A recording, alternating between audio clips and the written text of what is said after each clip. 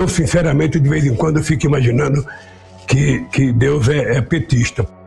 Eu não posso ver mais jovem de 14, 15 anos assaltando e sendo violentado, assassinado pela polícia, às vezes inocente, ou às vezes porque roubou um celular. As mulheres pobres, elas morrem tentando fazer aborto porque é proibido, o aborto é ilegal quando na verdade deveria ser transformado numa questão de saúde pública e todo mundo ter direito e não ter vergonha. Nós vamos ter que regulamentar as redes sociais, nós vamos ter que regulamentar a internet, vamos ter que colocar um parâmetro. Porque se eu votar, eu também vou regular os meios de comunicação nesse país. É dizer que tal conteúdo não pode ser publicado porque ele é ofensivo à sociedade brasileira.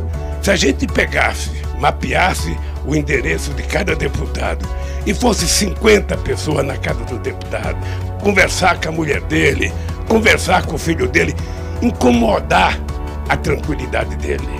Sabe, a chamada classe média é, ostenta muito um padrão de vida acima do necessário. O que, que é necessário para sobreviver? Tem um limite. Eu quero ter um carro, eu quero ter uma televisão. Não precisa ter uma em cada sala. Uma televisão já está boa. Que pensa a elite brasileira ela é escravista. Aqui no Brasil, a metade dela é escravista. Essa guerra seria resolvida aqui no Brasil numa mesa tomando cerveja. Se não na primeira cerveja, na segunda. Se não desce na segunda, na terceira. Se não desce na terceira, até acabar as garrafas, a gente iria fazer um acordo de paz. Agora, eles sabem o que fizeram comigo. Eles sabem.